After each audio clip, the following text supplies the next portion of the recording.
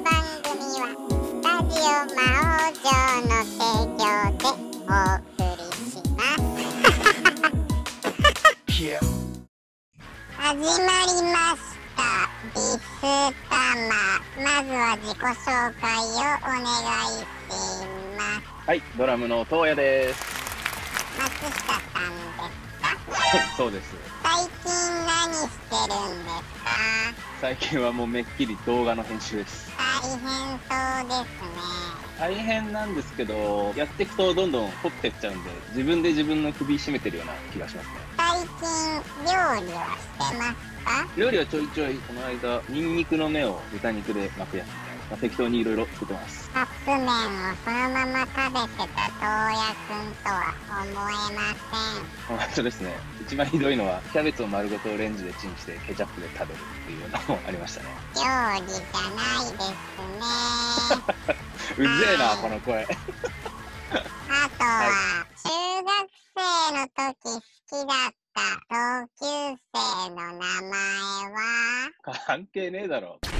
ねビスタマリスタマでは金の玉を手に入れるために様々なチャレンジをしてもらい。ますチャレンジが成功するごとに金の玉が一つ手に入ります、はいチャレンジに失敗すると罰ゲームが待っています、はいまずは抑力を試すチャレンジをしてもらいますはい問題。イストリップの結成記念日といえば？2007年4月7日。ですが知ってますよ、それ。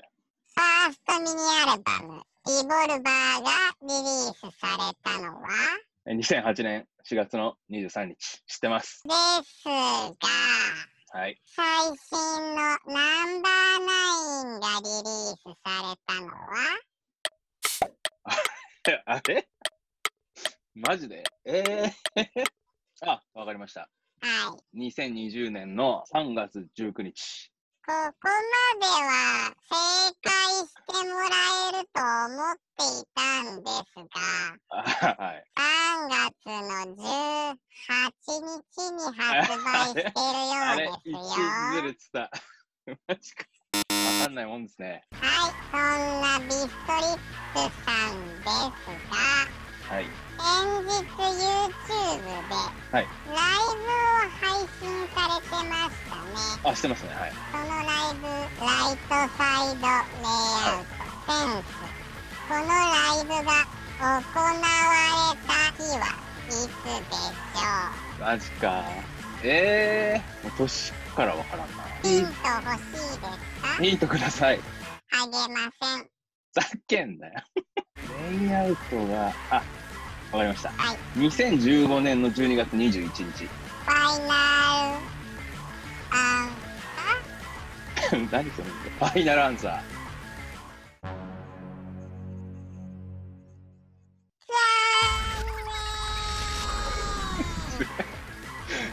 えー、いつだ？12月の18日ですよ。あ、そうなんだ。ここで罰ゲームと言いたいのですが、はい。